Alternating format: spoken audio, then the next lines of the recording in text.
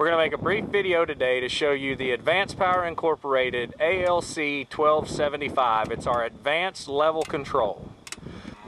The purpose of this unit is to maintain the water level in your tank. This is done electronically and we're going to show you today how this works. Here we have an installed ALC 1275. We've got it installed on the back of this solar system and we have the wires ran over to the tank. Most of the time, we will bring our sensing wire down the delivery pipe to the tank. We will hang the sensing wires in the tank at whatever level you wish to maintain or where you wish to maintain your level is where you'll set your sensors. I would like to say people always ask us, where's the rest of my sensor? Where's the rest of my level control kit? This is the functioning end of your control kit. These two male and female spade connectors are what come on the end of your kit and there is no other piece involved. This is a complete system. This is the ends that you get and this is all that needs to go in your tank.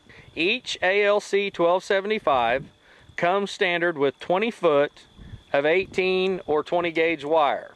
Should you need to go further than that, if it's further than that from your unit to your tank, then you can splice on a light gauge 18 or 20 gauge to make it reach further than the 20 feet that comes standard.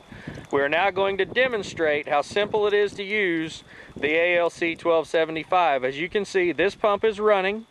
The pump is running at this time. We're going to put the leads in the water and there should be an 8 to 10 second delay before the pump turns off.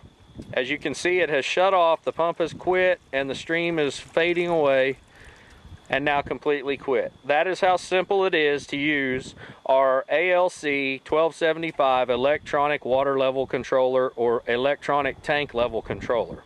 Now if we raise those out of the water, if the cattle had came and drank and taken the water away from the sensing ends, that will turn the pump back on after the same 8 to 10 second delay.